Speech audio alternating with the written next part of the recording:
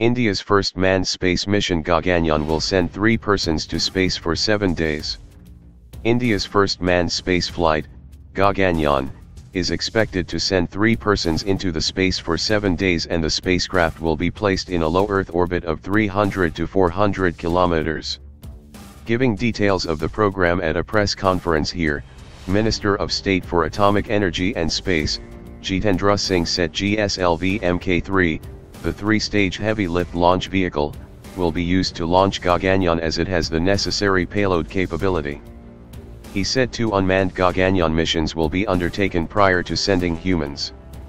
The total program is expected to be completed before 2022 with the first unmanned flight within 30 months. The mission will aim to send a three-person crew to space for a period of seven days. The spacecraft will be placed in a low Earth orbit of 300 to 400 kilometers.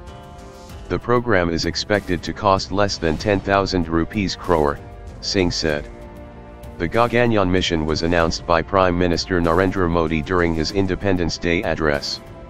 He had said that by 2022 or even before that, some of the young boys and girls will unfurl the tricolor in space.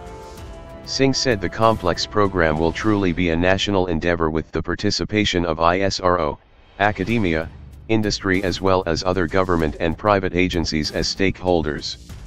The mission will make India the fourth nation in the world to launch a human spaceflight mission, Singh said.